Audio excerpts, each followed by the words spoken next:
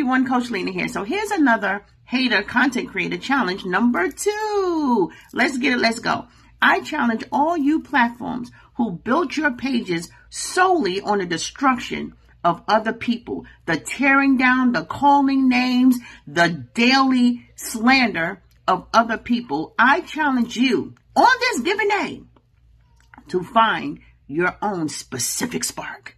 That one thing that you're absolutely great at, that one thing that people have told you your whole life that you should be doing.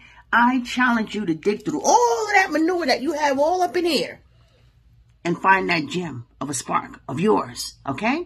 And what I want you to do is lead your page and your content with just that, with just that for one whole week. All right. Take all your energy off of all the hate that you've been doing and put it towards your specific spark. It's called the law of compensation, by the way. Any amount of energy given in one direction depletes the amount of energy in the next. Go from negative to positive. See how that works? Imagine that.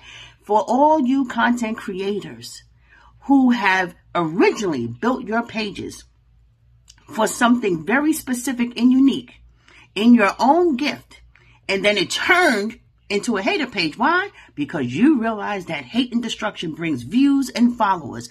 Well, I challenge you to repurpose your life and repurpose your page back to the original idea of why you created that page. All right. Now here's the thing.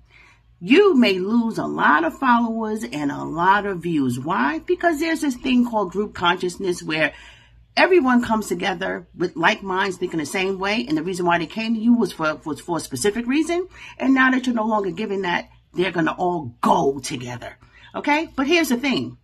Once you do that not only will you start gaining new followers to follow your new passion because now you have authentic people who really like you for you. Imagine that. You are likable on some level. You just have to show your real self and why you were created in this daggone world okay?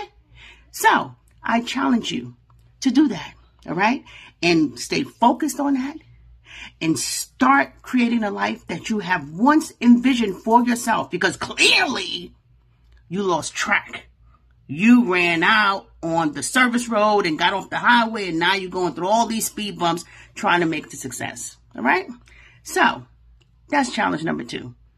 Hope you guys are with me. Let's get it. Let's go. Bye.